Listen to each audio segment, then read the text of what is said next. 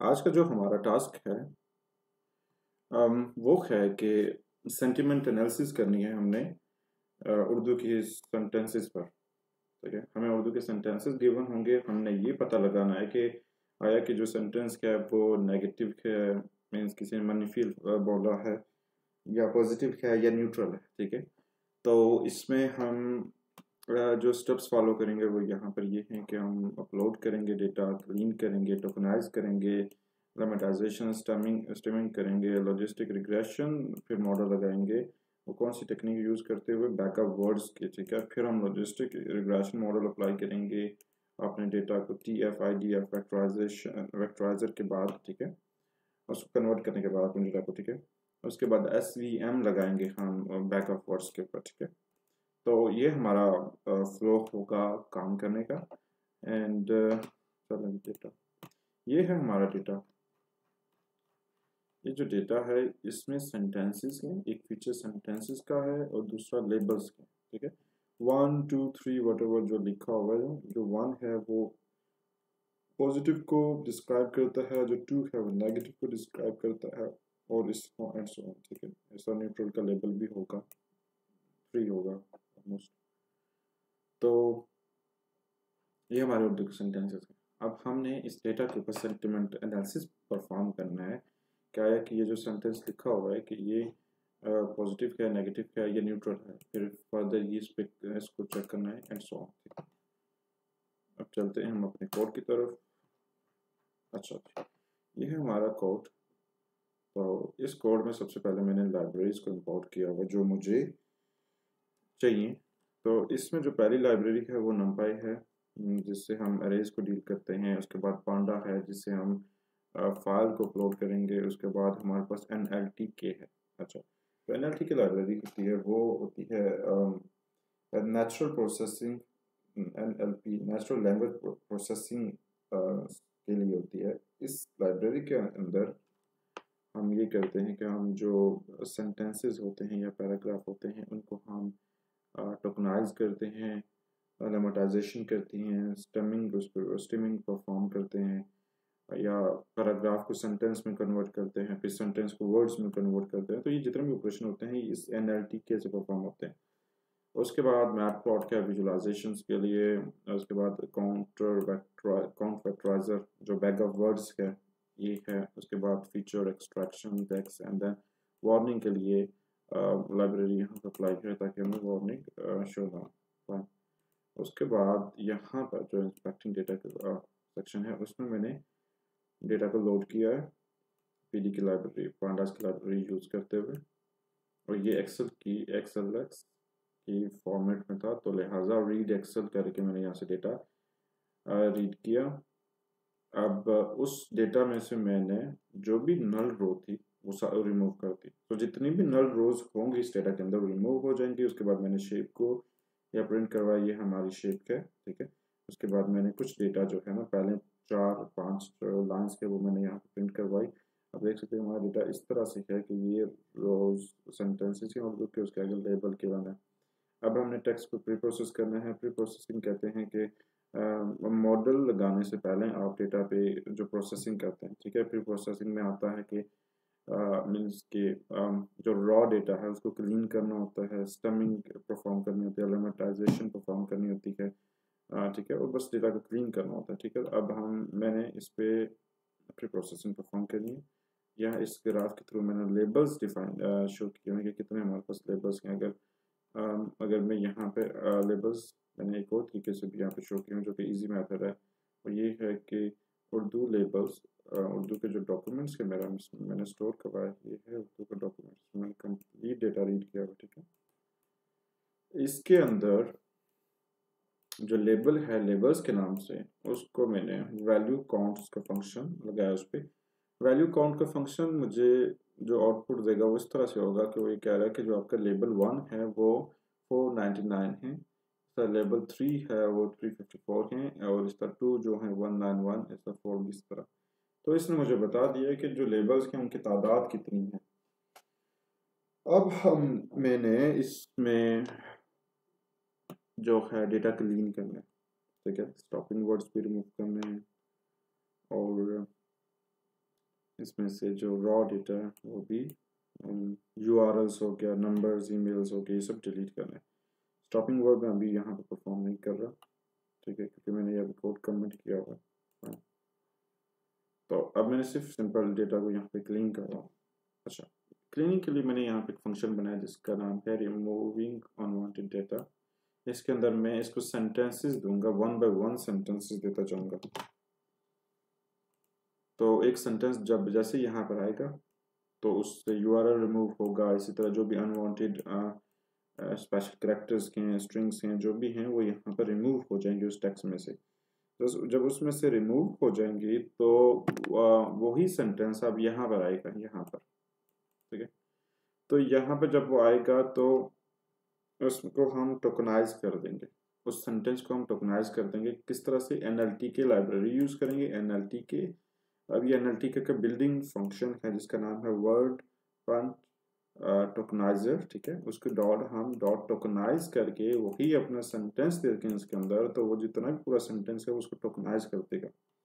अच्छा यहाँ पे टोकनाइज से मुराद क्या। टोकनाइज मुराद ये है कि जैसे ये इमेज है यहाँ पर आ, इसके अंदर एक टेक्स्ट एक सेंटेंस लिखा हुआ the cat sat on the mat okay tokenization जब इस पे परफॉर्म होगी सेंटेंस पे तो क्या होगा कि ये जो सेंटेंस है, इसके हर एक अल्फाज अलग अलग हो जाएगा और एक लिस्ट में स्टोर हो जाएगा।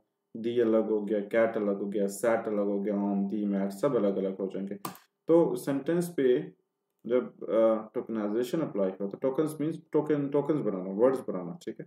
टोकनाइजेशन इसे कहते हैं। हम फिर इस पर टोकनाइजेशन मैंने अपनाई अप्लाई की।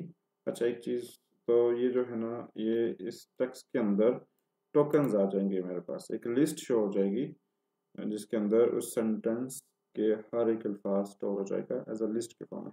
एक और चीज़ है यहाँ पर, ये वाली लाइब्रेरी मैंने यहाँ पे लाइब्रेरी इंपोर्ट किया उर्दू खैर के। क्योंकि मेरा जो डेटा है वो उर्दू की फॉर्मेट में, उर्दू के सेंटेंसेस के हैं, उर्दू के वर्ड्स हैं।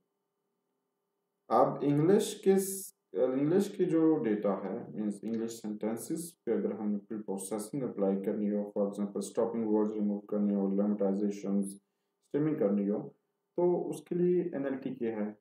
लेकिन एनएलटी के इंग्लिश पे काम नहीं करती। एरर देती है मीन्स उसके लिए बिल्डिंग लाइब्रेरीज या डेटा बना ही नहीं है। लिहाजा, बजाय एनएलटी कि मैं यहाँ पे उर्दू हैक यूज़ करूँगा। तो उर्दू हैक से हम वो सारे काम करेंगे, जो कि एन के से हम उर्दू डेटा पे नहीं कर सकते, ठीक है? तो जब मैंने यहाँ पे डेटा सारे चीज़ें इसमें से रिमूव की, जो अनवांटेड थी अल्फाज को टोकनाइज कर दिया सेंटेंस को टोकनाइज किया तो वो वहाँ पे वर्ड्स की फॉर्म में हो जाएगा वो वो जो लिस्ट है वर्ड्स की, वो मुझे रिटर्न हो जाएगी। अब मैं इस फ़ंक्शन को कॉल करूँगा यहाँ पर। ये मैं इस फ़ंक्शन को कॉल कर रहा हूँ। तो साथ में उसको मैं सेंटेंस दे रहा हूँ। इसमें मैंने यूज़ किया मैप का फ़ंक्शन ये जो मैप का फ़ंक्शन है, मैंने इस मैप के फ़ंक्शन के अंदर ये जो फ़ंक्शन का नाम लिखा है मैंने यहाँ पर, उस साथ में कॉमा डाल के उर्दू डॉक डॉट सेंटेंस का जो एक फीचर था कंप्लीट सेंटेंस का था, वो मैंने इसको दिया अच्छा जो मैप मैप का फ़ंक्शन है मैप का फ़ंक्शन ये करता है कि मैप का फ़ंक्शन इनपुट में दो चीज़ें लेता है। एक वो फ़ंक्शन का नाम लेता है और दूसरा वो ये लेता है कि जो आप डेटा सेंड करना चाह रहे हैं, उसके अंदर फ़ंक्शन के अंदर, वो यहाँ पे आप लिखें, ठीक है? मैप का फ़ंक्शन ये करता है कि वो एक ही दफ़ा पूरा डेटा लेता है आपसे मीन्स उसने मुझसे सारे के सारे 1100 सेंटेंस ले लिए, ठीक है? वो ये करेगा कि वो जो ये फ़ंक्शन है ना इसमें, जो मैंने डिफाइन किया, उसमें वो एक एक सेंटेंस डालता जाएगा, एक एक सेंटेंस देता जाएगा। यहाँ से वो एक सेंटेंस फॉरवर्ड करेगा, यहाँ पर। इसी के जो है ना टेक्स्ट में। एक सेंटेंस देख, उस पर प्रोसेसिंग अप्लाई करेगा और रिटर्न करेगा। एक ही सेंटेंस का जो भी आउटपुट आएगी, वो यहाँ पर रिटर्न करेगा, ठीक है? यहाँ पे रिटर्न आ जाएगी वहाँ पर। फिर वो जो होगा, हम हम उसको लिस्ट के फॉर्म में कन्वर्ट करेंगे और स्टोर कर देंगे, ठीक है? अच्छा ये स्टोर वहीं पर होगा जहाँ से हमने इसको उठाया था। जहाँ से हमने इसको उठाया था, ये जाकर वहीं पर स्टोर होगा, ठीक है? फिर इसी तरह दूसरा सेंटेंस यहाँ से जाएगा। वो भी, वो यहाँ से जाएगा प्रोसेस होगा और रिटर्न होकर यहाँ पर आएगा और वो वहीं पे वहीं पे जाके स्टोर हो जाएगा। क्योंकि मैं यहाँ पे उर्दू डॉक डॉट एक ये मैं नया कॉलम बना रहा हूँ, लेकिन ये उसी लोकेशन पे जाके स्टोर हो जाएगा। ये यही सेंटेंस ठीक है? तो मीन्स एक एक सेंटेंस जाएगा फ़ंक्शन में। और रिटर्न होके वापस आ, वापस आके स्टोर हो जाएगा। अब मैंने यहाँ पे नया कॉलम बनाया नया फीचर बनाया। अगर मैं इसकी जगह पे इसी का अपना सेंटेंस ये जो सेंटेंसेस वाला यही रख दूँ तो वो आ, उसको रिप्लेस कर देगा। जहाँ से वो जहाँ पे ओरिजिनल था वो उसको रिप्लेस करके यहाँ पे टोकन स्टोर हो जाएँगे। तो ये है मैं यहाँ पे यहाँ शो शो किया हुआ ठीक है? कंप्लीट प्रोसेसिंग के बाद। जब ये सारी प्रोसेसिंग परफॉर्म हो गई तो उसके बाद मैंने डेटा शो किया। अब ये है, यहाँ से हम समझेंगे, वो ये है कि ये सेंटेंस है, ठीक है? सेंटेंस मैंने उसको पहला सेंटेंस दिया, इस कंप्ली इस फ़ंक्शन को। ये पहला फ़ंक्शन ये सेंटेंस उसके पास जाएगा प्रोसेसिंग अप्लाई करेगा टोकनाइज करके जब वो मुझे रिटर्न करेगा तो मैंने उसी के बराबर में एक नया कॉलम बनाया, ठीक है? और ये सेंटेंस मैंने भेजा था, और रिटर्न में मुझे ये मिला। ठीक है? क्योंकि मैंने यहाँ पे स्टोर करवाया ना। मुझे यहाँ मैंने यहाँ पे स्टोर कर दिया। मैं इसको यहाँ पे भी स्टोर कर सकता था यहाँ पे स्टोर करता तो ये इसकी जगह पे रिप्लेस हो जाता इसकी जगह पे ये चीज़ आ जाती। फाइन बट uh, मैंने ओरिजिनल डेटा वहीं पे रखा। मैं सोचा क्यों ना नया कॉलम बना दें तो फिर वहीं पे स्टोर कर देते हैं इसको। तो अब ये देखिए टोकनाइज की फॉर्म में ये ए ये लिखा हुआ है उसके आगे कोमा बहुत खुशी comma and comma comma comma ठीक है? तो ये टोकन टोकन्स ठीक है? ये टोकन्स हो गए वर्ड्स हो हो गए अच्छा हमारे पास टोकनाइजेशन होगी। हमने लेमेटाइजेशन अब अप्लाई करनी है। अब लेमेटाइजेशन कहते किसका? पहली तो ये चीज़। लेमेटाइजेशन इस इमेज से लेमेटाइजेशन होता है कि जो अल्फाज के, जो अल्फाज जो भी आप उसको दें लेमेटाइजेशन टेक्निक को तो वो आपको आउटपुट में आउटपुट में उसका रूट वर्ड देगी ठीक है? रूट वर्ड देगी।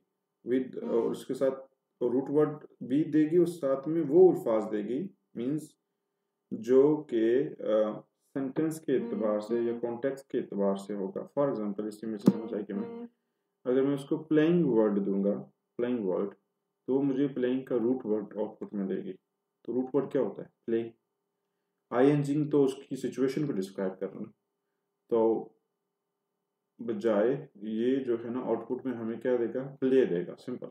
अगर मैं प्लेस कहूँ तो वो भी मुझे उसका रूट वर्ड देगा।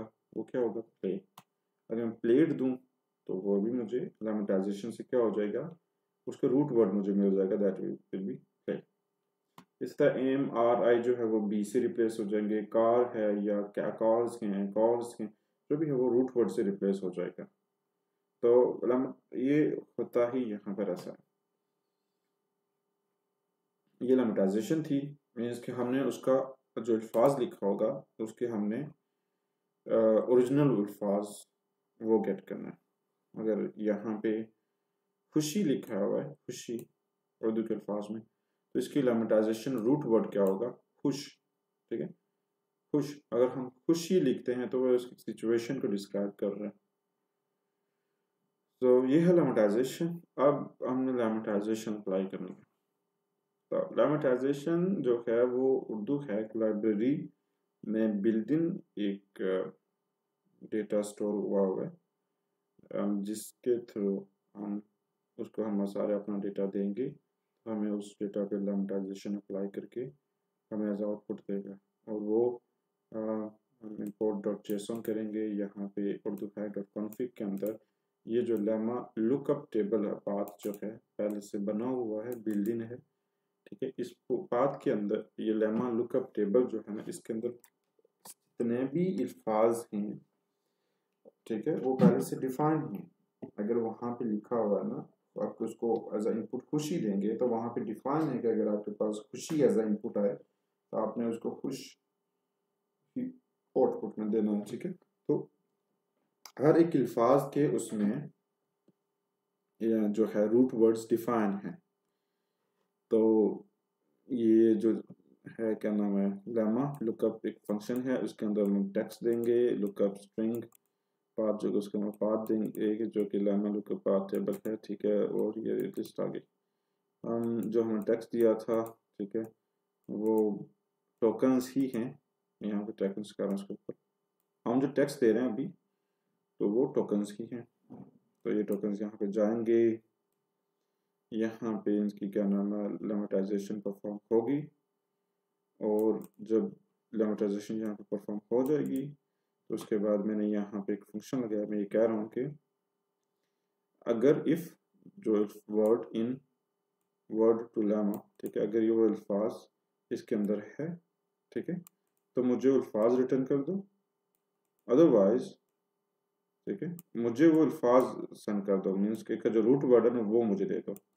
नहीं तो एल्स मुझे एक्चुअल जो मैंने तुम्हें अल्फाज दिया था ना ठीक है वही अल्फाज मुझे दे दो। फाइन फाइन तो ये जो होगा आम, ये मुझे वो रिटर्न कर देगा। या तो मुझे उसकी लेमेटाइजेशन सेंड करेगा तो या तो फिर मुझे उसका क्या नाम है वही अल्फाज मुझे सेंड कर देगा।